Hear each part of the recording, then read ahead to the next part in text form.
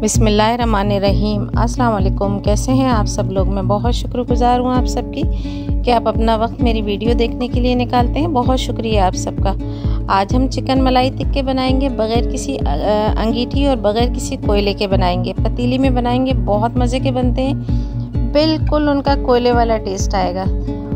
मेरे चैनल को जिसने सब्सक्राइब नहीं किया, सब्सक्राइब कर लें, बेल आइकन को प्रेस कर लें ताकि आने वाली वीडियो की अपडेट्स आप लोगों को मिल सके। तो चलिए स्टार्ट करते हैं हम अपनी रेसिपी ये देखें 750 ग्राम मैंने चिकन लिए बोनलेस और इसको छोटे छोटे क्यूब्स में काट लिया है। हाफ़ टी स्पून कुटी लाल मिर्च, हाफ़ टी स्पून भुना हुआ ज़ीरा, हाफ़ टी स्पून काली मिर्च, एक टी स्पून नमक इसमें, और वन टी स्पून में भुना हुआ, कुटा हुआ ज़ीरा, धनिया वन टीस्पून पपीता और डेढ़ टेबल, एक टेबल स्पून मैंने इसमें हरा धनिया हरी मिर्चों का पेस्ट डाला और हाफ़ टी स्पून अदरक लहसुन का पेस्ट डाला। चार से पाँच टेबल स्पून पिटा हुआ दही ऐड कर रही हूँ उसमें दो टेबल स्पून इसके अंदर मैं क्रीम यूज़ कर रही हूँ। बहुत मज़े के लगते हैं। इसको हम मैरिनेट करके चार से पाँच घंटे के लिए रख देंगे और बेहतर यही है कि इसको आप ओवरनाइट मैरिनेट करके रख दें ताकि नेक्स्ट डे आप बनाएँ, बहुत अच्छे से इसके मसाले जब अंदर जाते हैं तो इसका टेस्ट बहुत अच्छा आता है। मेरे, मैं तीन से चार घंटे के लिए इसको मैरिनेट होने के लिए फ्रिज में रख दूँगी बना के, और फिर हम इसको पतीली में बनाएँगे।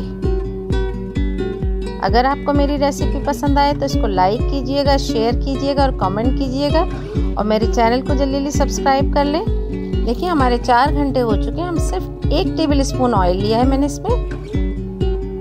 और मैं इसके अंदर चिकन ऐड कर रही हूँ, जो मैंने मैरिनेट करके रखी थी।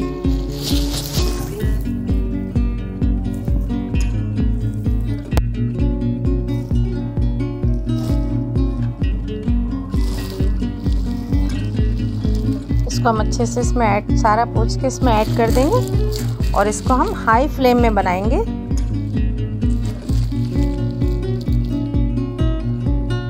फ्लेम मैंने हाई रखी है अभी। इसको हम अच्छे से फ्राई कर लेंगे। पपीता भी डाला है तो जल्दी गल जाएगा हमारा ये, ताकि इसमें जो भी थोड़ा बहुत पानी दही का छूटेगा, वो हाई फ्लेम की वजह से जल्दी सूख जाएगा।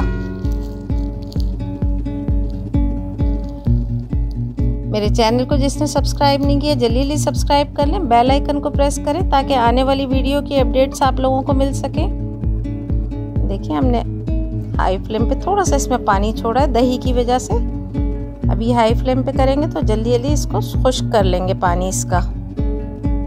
थोड़ा सा कवर कर दे रही हूँ ताकि जो बोटियाँ अच्छे से गल जाएँ। ये देखें, बिल्कुल पानी भी खुश्क हो चुका, मसाला भी बिल्कुल इसमें हो चुका है।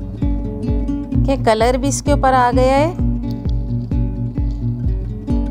देखें कितना ज़बरदस्त सा, बिल्कुल आप चारकोल पे जो आप बनाते हैं, उसके जैसा कलर आ गया है। और गोश्त बिल्कुल गल गया, हमारी बोटियाँ बिल्कुल गल गई हैं। बेहतरीन सी बोटियाँ गल गई हैं।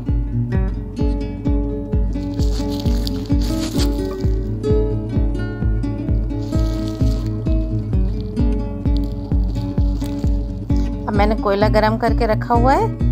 इसमें हम अच्छे से धुआँ दे देंगे। तेज़ गरम करके रखें, थोड़ा सा करके, ताकि बिल्कुल कोयले वाला फ्लेवर इसके अंदर आ जाए।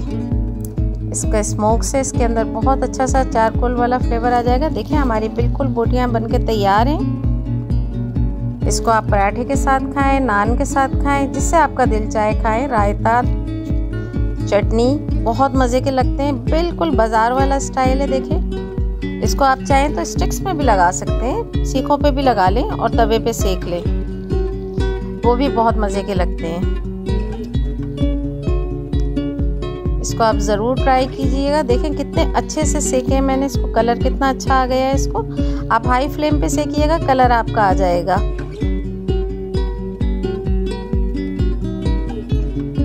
मेरे इंस्टाग्राम को भी फॉलो करें और मेरे चैनल को जिसने सब्सक्राइब नहीं किया, जल्दी जल्दी सब्सक्राइब कर लें। बेल आइकन को प्रेस कर लें ताकि आने वाली वीडियो की अपडेट्स आप लोगों को मिल सकें। मिलते हैं एक नई रेसिपी के साथ। टेक केयर अल्लाह हाफिज़।